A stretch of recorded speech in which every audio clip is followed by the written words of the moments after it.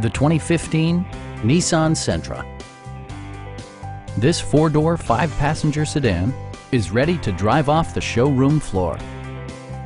It features an automatic transmission, front-wheel drive, and a 1.8-liter four-cylinder engine.